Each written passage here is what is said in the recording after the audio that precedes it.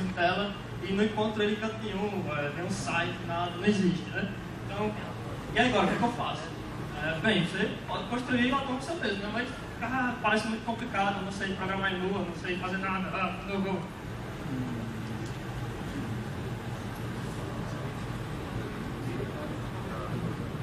Seus problemas acabaram de novo, né? Nosso é, projeto é o Kite for All, é um programa desenvolvido para criar extensões de Lua, né? criar drones. E se vocês quiserem saber mais como é que ele funciona, é, como é que ele vai ajudar vocês, vocês passam lá embaixo, dão uma olhada no e me perguntam. Valeu.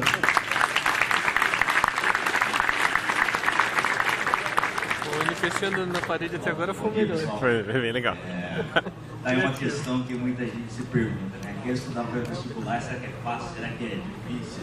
É, vamos conver- conversar aqui de estudante, todo mundo que é estudante.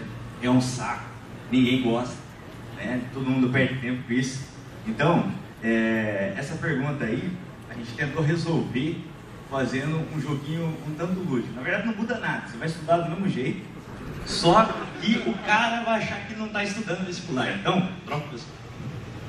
Saca só, aqui tem um joguinho que é o Lula Educativo e tem um tabuleiro muito simples. Põe um dado lá, o cara anda umas casinhas, responde a questão e pronto, está estudando para o vestibular e ele não sacou disso. Pois é. Então, depois se vocês quiserem saber mais como funciona, como que é esse jogo, qual que é a iniciativa desse jogo, passa lá no post. Valeu!